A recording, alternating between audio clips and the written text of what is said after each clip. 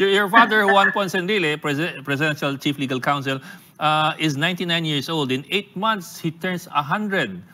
Uh, Yes po. From, from your discussions with your father, is he planning to keep on working as he turns a century old? It, that, that is Juan Ponce Enrile. He's always he always has to be doing something. He's always reading. He's always studying. He's reading books.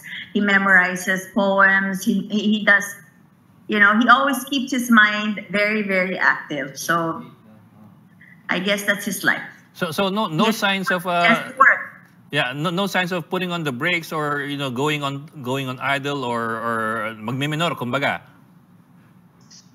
Not the way I'm seeing him. No. Mhm.